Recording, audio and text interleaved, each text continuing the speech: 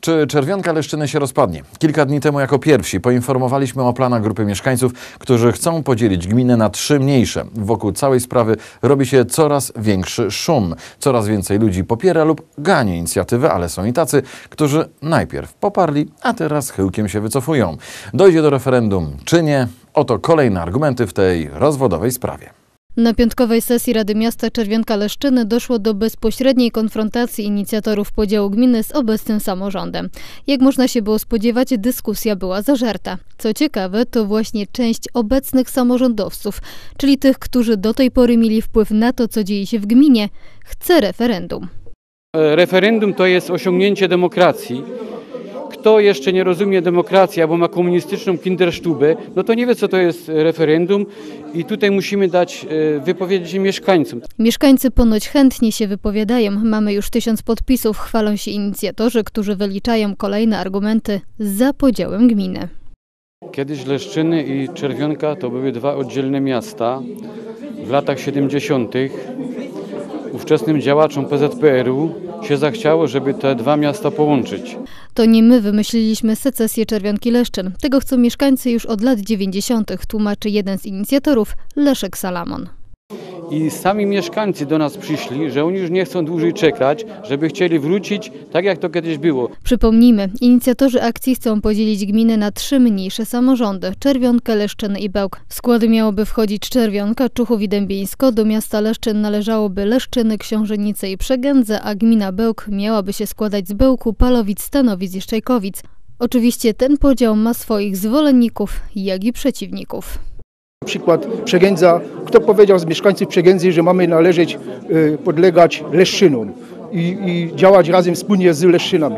Przeciwnicy, mimo usilnych prób pomysłodawców, nie dali się przekonać co do słuszności secesji gminy. Padają nawet ostre słowa pod adresem inicjatorów. Są to e, e, osoby, które nie, nie sprawdziły się w wyborach poprzednich kadencji. e, Po prostu i ludzie, wyborcy e, nie docenili ich aż na tyle, aby dać im odpowiednią ilość głosów, żeby mogli rządzić.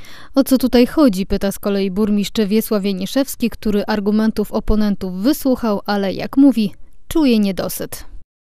ten wniosek y, jest y, nieracjonalny, ponieważ tak faktycznie wnioskodawcy nie do końca przedstawili cele. Są dokumenty, które świadczą o tym, że jesteśmy na wysokich miejscach, jeśli chodzi o pozyskiwanie środków zewnętrznych czy o efektywność zarządzania gminą, przekonuje Wiesław Janiszewski. Włodarz czeka więc na rzeczową dyskusję, jeśli chodzi o podział gminy. Zaskoczenia z wiadomości o planach secesji nie kryje też Jan Olbrecht, eurodeputowany do Parlamentu Europejskiego, który nieraz gościł w Czerwionce Leszczynach. Znaczy, To jest dla mnie nowość, y, to co słyszę Pani, no dosyć zaskakująca, ponieważ, y, ponieważ y, przez ostatnie lata no, sytuacja tej gminy się bardzo zmieniała.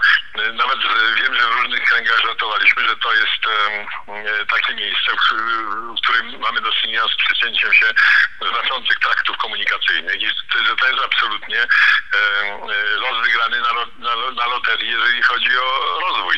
Jak przekonuje Jan Olbrecht, podział gminy zdecydowanie ten rozwój ograniczy. Jak zauważa, rzeczywiście w latach 90. były wyraźne tendencje secesyjne w Polsce, jednak teraz jest zupełnie na odwrót. Dzisiaj jest, jakby pracują nad tym, jak, jak e, e, zachowując własną tożsamość i zachowując własną odrębność, jak doprowadzić do właśnie współpracy, współdziałania, wspólnych projektów i tak dalej. W tym kierunku również idą, prawodawstwo europejskie.